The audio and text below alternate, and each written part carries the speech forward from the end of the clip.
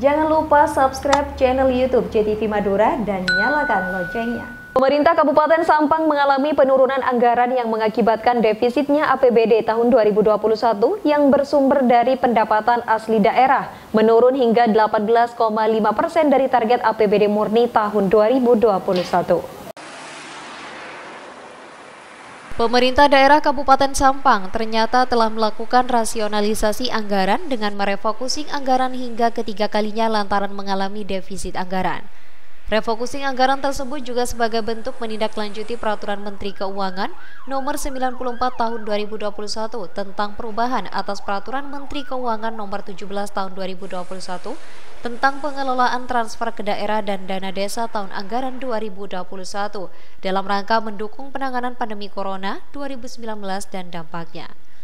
Sekretaris Daerah Sampang Yuliadi Setiawan menjelaskan dari aturan dari pemerintah pusat yang ada, membuat pemerintah daerah melakukan rasionalisasi dengan melakukan refocusing untuk penanganan COVID-19 yang belum juga usai dan untuk menjalankan roda pemerintahan.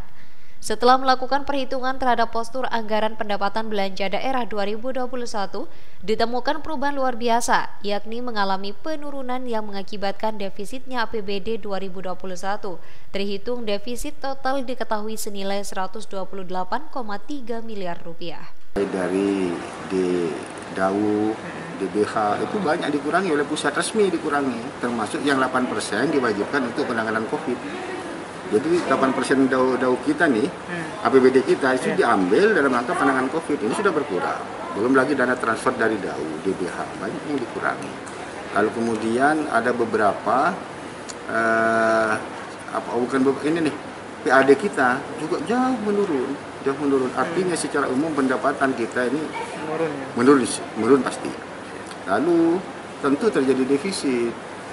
Nah, jadi kita sudah punya APBD murni. Hmm Padahal pendapatannya tidak sesuai, sudah tidak sama dengan dengan target yang sudah kami yeah. tentukan, otomatis defisit. Nah, untuk menutup defisit ini tidak ada pilihan, kami harus mengurangi beberapa kegiatan-kegiatan yang ada di OPD, mulai dari barang jasa, lalu pengadaan eh, belanja modal, belanja barang jasa, itu kita kurangi semua. Setelah dilaporkan ke Bupati, ternyata Bupati mengambil kebijakan, yakni memilih TPP tetap jalan sebab kata beliau TPP merupakan hak para ASN dan kebijakan itu sudah melalui banyak pertimbangan. Bupati lebih memilih kegiatan prioritasnya untuk ditunda. Hal seperti itu perlu diapresiasi terlebih oleh para ASN di Kabupaten Sampang.